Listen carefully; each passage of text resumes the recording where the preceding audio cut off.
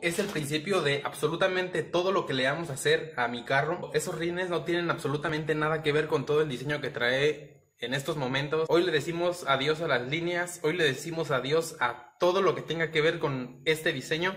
Así es que sí, hoy se viene el cambio de color para mi Beetle y la verdad es que escogí un color que está de no mames, está cabroncísimo. Pero antes de empezar a todo lo que significa la pintura, necesitamos quitar todas las abolladuras que tenga, rayones, portazos, absolutamente todo lo que tenga lo tenemos que quitar para que la pintura que va a ir en la parte de arriba quede bien y no se vea ahí todo sumido. Así que hoy empezamos oficialmente con el cambio más grande que va a dar este carro.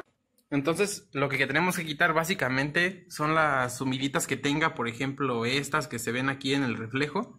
Esas tenemos que quitarlas como estas pequeñitas, porque el color que escogí es un color que se va a ver muy sensible, es muy sensible a que se le vean este tipo de, pues sí, de abollones chiquitos. Este de aquí, la verdad es que sí tiene, sí tiene un poco más de abolladuras, por ejemplo esta, que la verdad es que ni siquiera se la había visto, por ejemplo esta chiquita de aquí. Y aquí abajo tiene varios, ahí se le alcanzan a ver.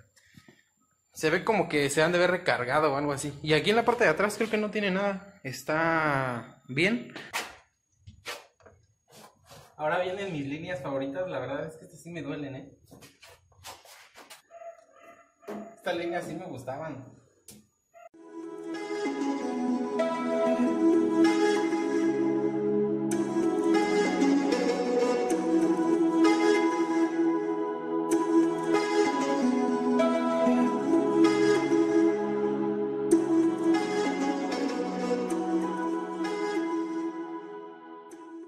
A ver, esta se la voy a quitar porque no la quiero echar a perder, es de las cosas que no están mal.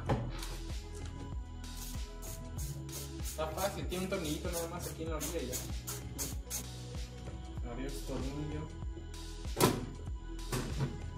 Y así, es sencillo. Nos ahorramos el trabajo de tener que rayar esto por estarle acá lijando.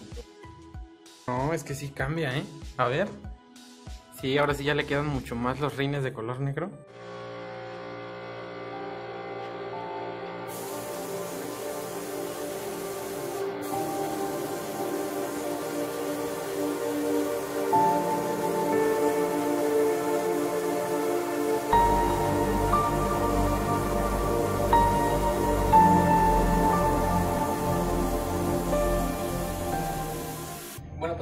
La pasta.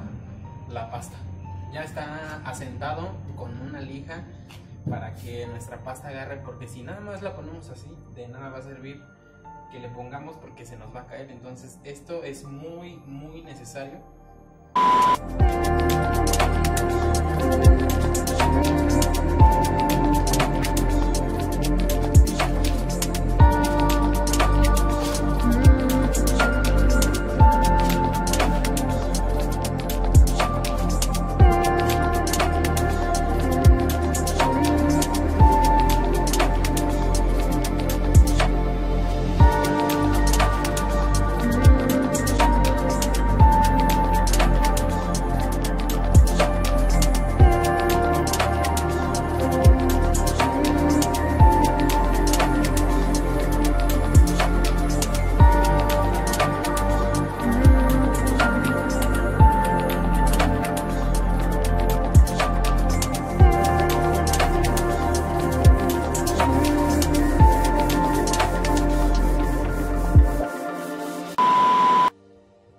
Ahora sí ya no tiene absolutamente ninguna sumida, ya se las quité todas.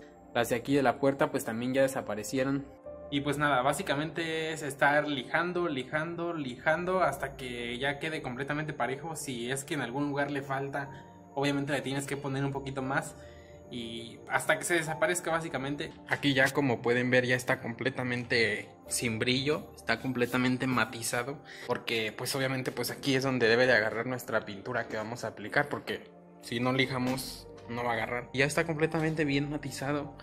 Ya están los golpecitos, ya están afuera. Los rines están bien puercos. Todos estos detalles de aquí ya salieron. Vamos a llevar esta de una vez.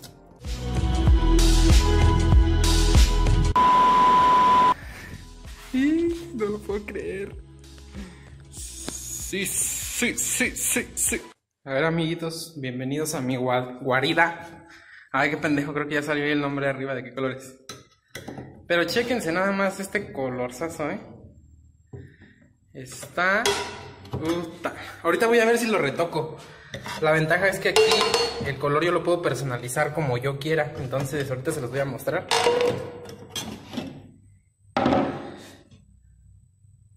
Y... Ah, cabrón, ¿qué pedo? Ah, es que falta moverlo. A ver, permíteme un segundito, ¿eh? Ahora sí, ya listo. Chéquense este color. Puta madre.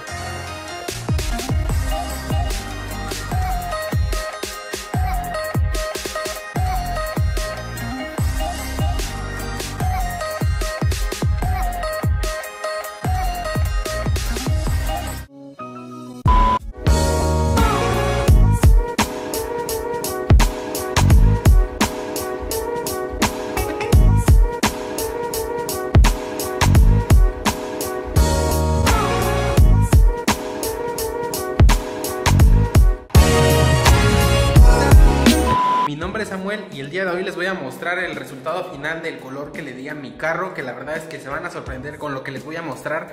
Así que pues nada, vamos a verlo, ¿no?